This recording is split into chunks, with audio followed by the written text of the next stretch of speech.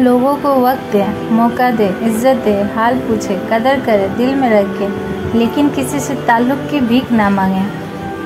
समझदारी की बातें दो तरह के लोग करते हैं। एक ज़्यादा उम्र वाले, दूसरा जिन्होंने कम उम्र में ज़्यादा मुश्किल देखी हो।